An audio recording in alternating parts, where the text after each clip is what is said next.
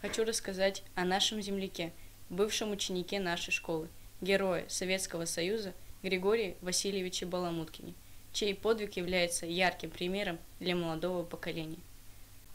В октябре 1943 года наши войска освобождали левобережную Украину.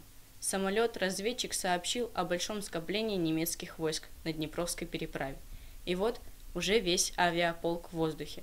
Григорий Баламуткин повел свою группу на зенитчиков, которые охраняли эту переправу.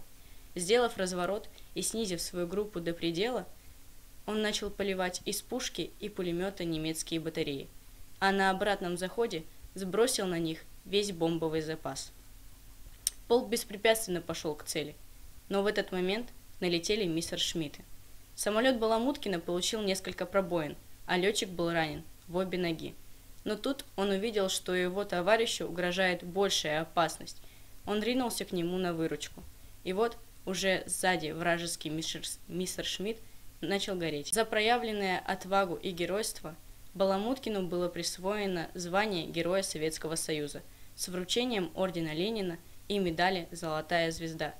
Мы, юноармейцы, обещаем быть достойными продолжателями дела тех, кто любил и защищал свою родину.